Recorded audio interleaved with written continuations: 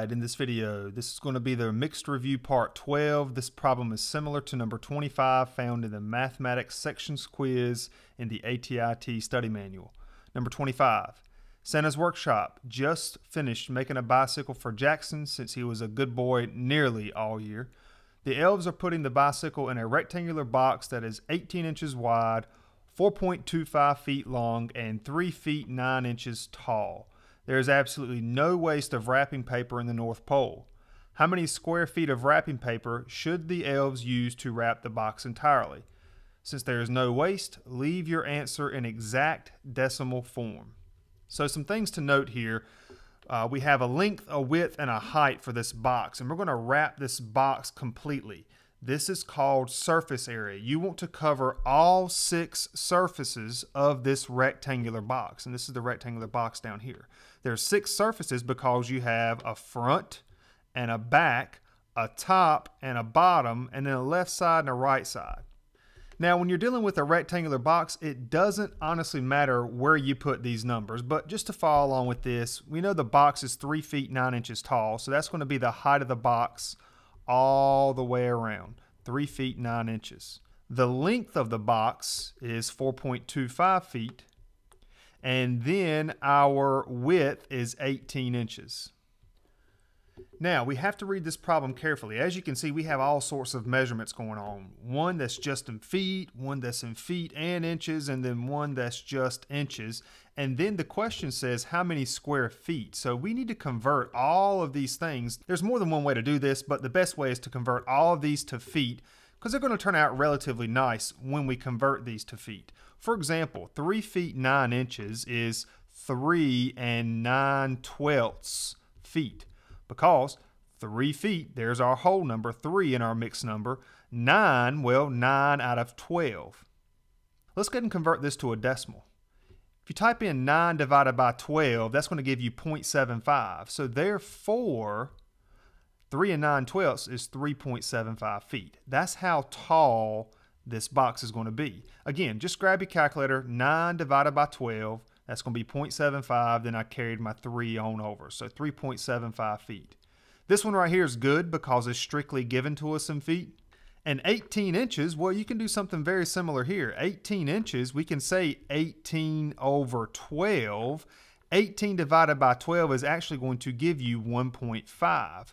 So it's a foot and a half. And if you think about that, 18 inches, well, 12 of those inches is going to give you a whole foot.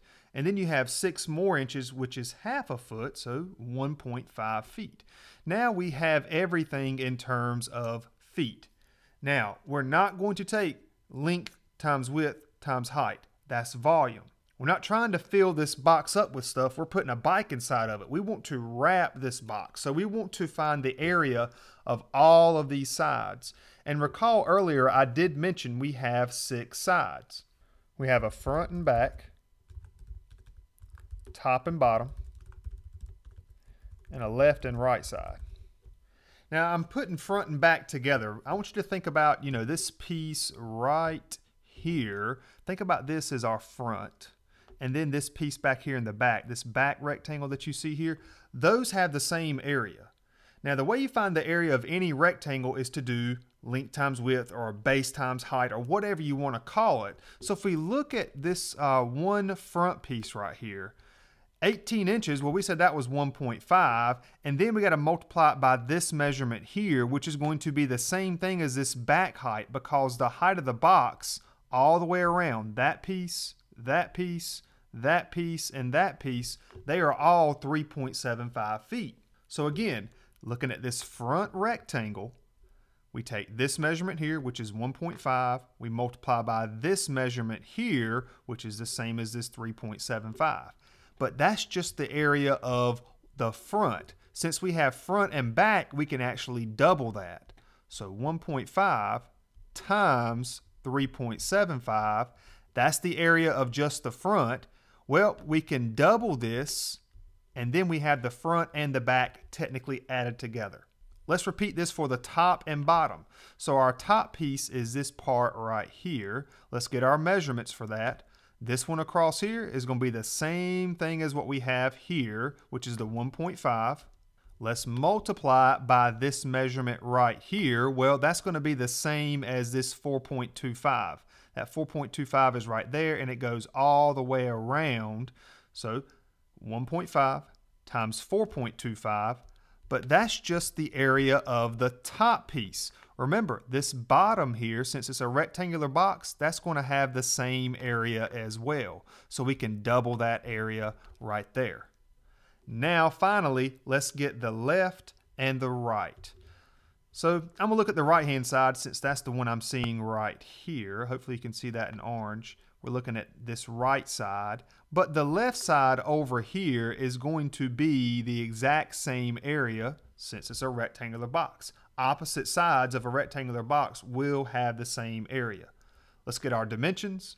4.25 times that was that piece. Now we got to go this piece here because we're really taking length times width. We're finding the area of a rectangle. Well, this piece here is 3.75.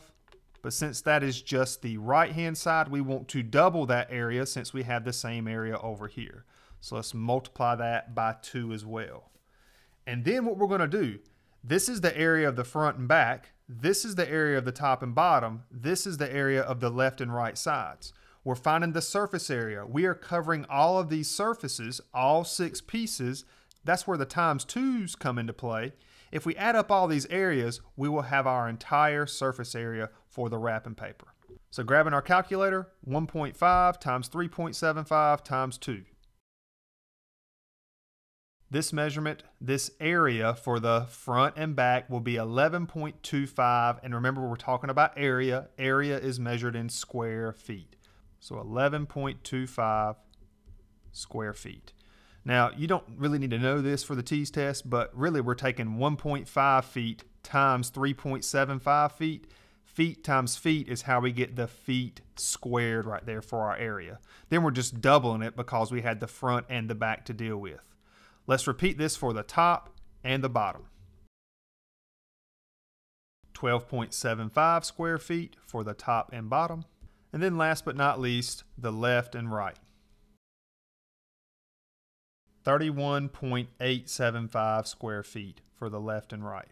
So let's take these areas, front and back, top and bottom, left and right. Let's add up all of these to get the answer to our question. That's going to be how many square feet of wrapping paper the elves should use to wrap the box entirely. And we're going to leave this answer in exact decimal form. Notice we do have a long decimal here, but it's not a, a ugly decimal that carries on forever. So adding up these three areas, our total surface area will be 55.875 square feet. And to get you to imagine this, a square foot is a square. Take a piece of paper, a big piece of paper, and cut a 12 inch by 12 inch square. That's a square foot that you would have right there in front of you. It would take almost 56 of those to cover this entire box. The front and the back, the top and the bottom, the left and the right hand sides. Now I know when we wrap presents, we got we fold little triangles and all that stuff, but again, the elves don't waste any wrapping paper, so they're gonna use the exact amount 55.875. And you know, they use their magical powers. They can make it look beautiful, I'm sure. But the point is here, we want to make sure we know how to find surface area of a box. I have a feeling you will run across a problem like this on the TEAS test. Um, but yeah, there you have it. Uh, a problem similar to number 25 in the ATI TEAS study manual. And that's it for this video. I hope it helped.